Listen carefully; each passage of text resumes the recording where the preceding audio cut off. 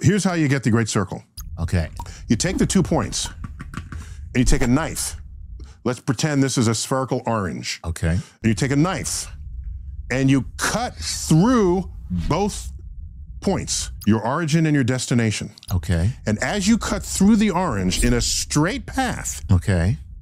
that cut must go through the center of the orange and come out the other side. So now If that cut goes through the center of the orange, then those two points are on a great circle. If you cut this way, right. You- You're gonna you're gonna shear you're off going the to top shear off of the, top, orange. and you would not have gone through You the center of the orange. So what you have to do is angle. Here's point one. Here's point 2 mm-hmm. You angle your knife so. Angle the that blade. angle the blade of the knife. yes. So that when you cut, although you're coming towards this point, the blade itself is actually angled so it passes through the very center of the orange. Correct. No matter where No matter where you are. Correct. Correct. Because then what you're going to end up, no matter where you started, is two halves of an orange Yes. with two circles as the ah. face of the orange. And they're the great circles, the biggest circles you can cut on Earth. That's pretty wild. It's wow.